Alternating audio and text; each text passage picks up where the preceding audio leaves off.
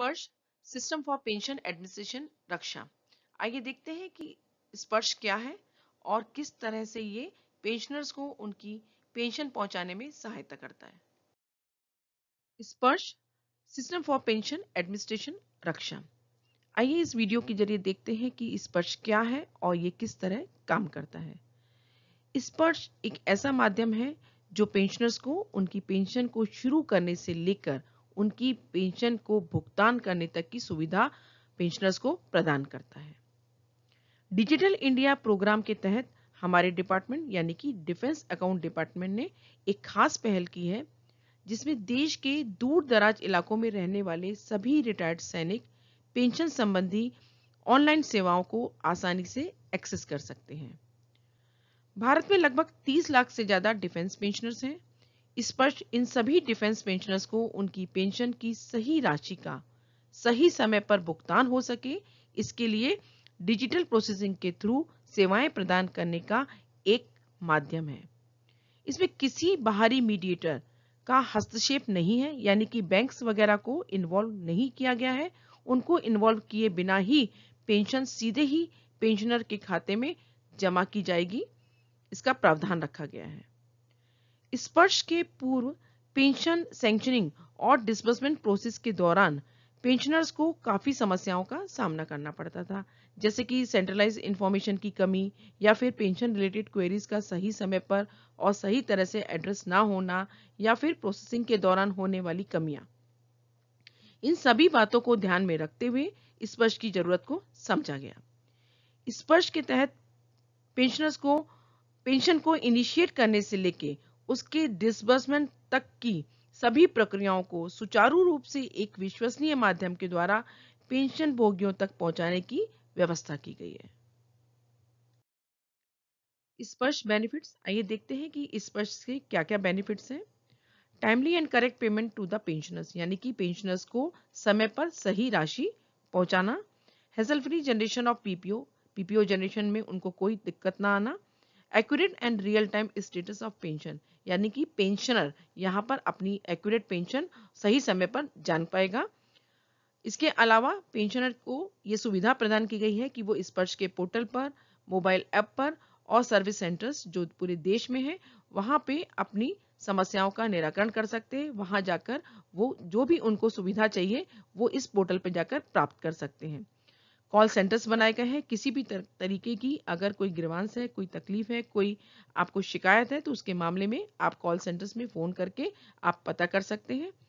इसके अलावा स्पर्श का एक महत्वपूर्ण उद्देश्य है कि पेंशनर्स के पुराने पड़े हुए पेंडिंग मामलों को सही समय पर निपटारा किया जाए।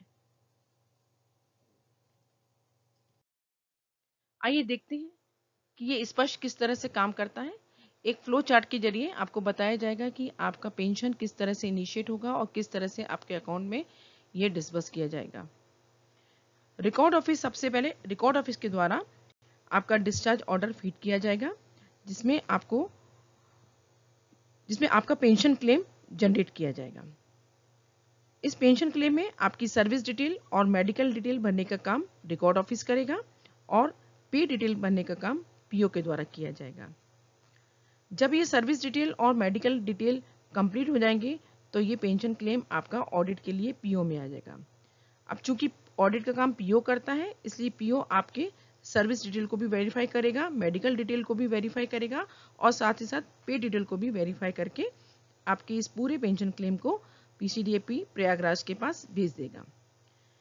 इसके बाद जो पेंशनर है, जैसे ही प्रयागराज के पास चला जाएगा, इसके बाद जो पेंशनर है, उनके मोबाइल और ईमेल पर इसका आपका उनका जो, जो भी रिटायरी है उनका यूज़र नेम और पासवर्ड का एक मैसेज आएगा। और उसके बाद वो स्पर्श पोर्टल को लॉगिन कर सकते हैं।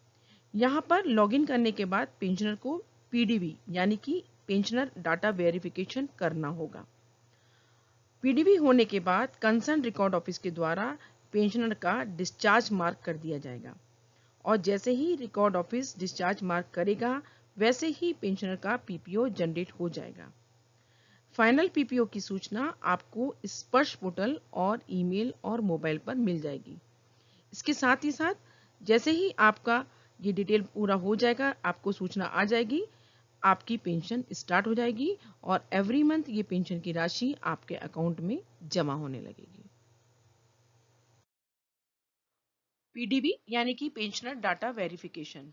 ये एक ऐसी फैसिलिटी है जो स्पष्ट पोर्टल पे आपको प्रोवाइड की जाएगी, जिसमें before generation of final PPO आप चाहें तो आप अपना क्लेम को ऑडिट करके चेक करके सबमिट करवा सकते हैं।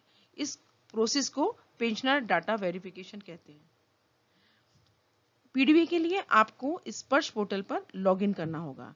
लॉगिन करने के बाद आपको अपनी सर्विस मेडिकल और पे डिटेल पोर्टल पर ही दिख जाएँगे। ये वैल्यू या डाटा जो आपको दिखाई देगी, उसको एग्जिस्टिंग वैल्यू कहा जाता है। इनमें से कोई भी वैल्यू या डाटा आपको लगता है कि ये गलत है तो आप उस वैल्यू को या डाटा को सही करने के लिए रिक्वेस्ट कर सकते हैं। और जो वैल्यू आप चेंज कराना चाहते हैं, उसे रिक्वेस्ट वैल्यू कहा जाता है। अगर रिक्वेस्ट वैल्यू पे डिटेल से संबंधित होगी तो आपका क्लेम पीओ के पास वापस चला जाता है। उसी तरह अगर रिक्वेस्ट वैल्यू सर्विस डिटेल से संबंधित है तो यह क्लेम रिकॉर्ड ऑफ़िस के पास वापस चला जाएगा। अगर एग्जिस्टिंग वैल्यू गलत है तो उसको चेंज कर दिया जाएगा। और अगर वो नहीं गलत नहीं है और सही पाई जाती है तो उसको ही एग्जिस्टिंग वैल्यू को ही फाइनल वैल्यू माना जाता है। यहाँ पर अगर आपकी वैल्यू को चेंज किया जा रहा है तो उसे फाइनल वैल्यू के तौर पर ही आपको स्पर्श पोर्टल पर दिखाया जाएगा।